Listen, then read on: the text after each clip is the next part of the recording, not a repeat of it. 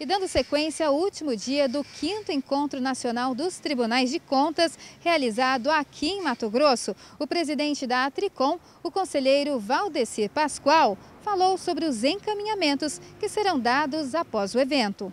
Para os trabalhos encaminhados, tem publicação da carta que, tra traz, que vai trazer uma declaração desse momento histórico. Os tribunais de contas do Brasil têm que se preparar cada vez mais para serem guardiões da lei de responsabilidade fiscal. O Brasil vive uma crise e os tribunais têm que ser, em primeiro momento, uma instituição exemplar em matéria de orçamento, em matéria de austeridade e de cumprimento da lei de responsabilidade fiscal. Até para poder cobrar dos gestores também uma performance de cumprimento da própria lei de responsabilidade fiscal. É um momento de esperança para o Brasil, um momento complexo, desafiador, mas de esperança e certamente é, nós teremos no futuro uma geração com um Estado muito mais eficiente e os órgãos de controle muito mais em sintonia com o cidadão.